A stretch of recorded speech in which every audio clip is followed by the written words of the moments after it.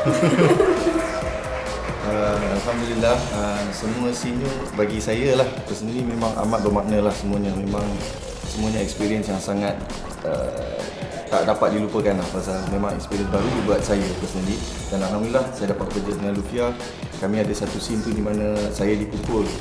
Kan dipukul dan macam nak kata direjam tu pun ada juga lah di baling batu semua. Dan memang tak orang uh, tak berpuas hati dengan saya. Jadi saya gigih balik duduk dengan dia terlantar di atas katil tu sambil dikelilingi oleh budak-budak uh, uh, Mahat Tafiz Ibnu Sina daripada Kedah dan mereka mereka membaca kasidah sebuah kasidah yang lama dan bila dia orang lantunkan tu terus lebur menangis kita semua perasaan ha. kami ketika itu dan dia Betul. um, membuatkan kami betul-betul Betul. terasa uh, dan dengan sendirinya we deliver our uh, character sedih ya masa betul time part betul. tu semua sangat semua kru pun menangis kita pun Director lebur menangis ada scene yang saya kena baca uh, kasidah tu seorang-seorang pun lebur menangis dan ada yang scene yang adik Wahid tu pun uh, Adham tu Adham Hakimi. Idham.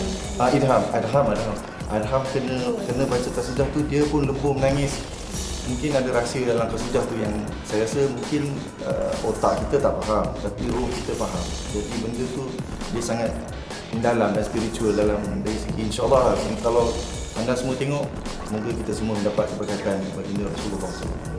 Dan selamat menyambut Maulid Rasul. Semoga kita banyak selawat ke atas Nabi dan banyak berdoa um, uh, semoga uh, kita uh, mendapat syafaat nanti insyaAllah amanah.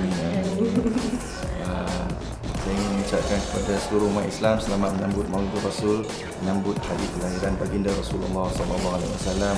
Tambahkanlah selawat kita, semoga kita tambahkan amal ibadat kita. InsyaAllah kita didekatkan dengan Allah dan didekatkan dengan baginda Rasulullah SAW. Kita akan dihimpunkan dengan bersama yang kita kasihi di hari akhirat nanti. Moga-moga kita semua berkumpul dengan baginda Rasulullah SAW.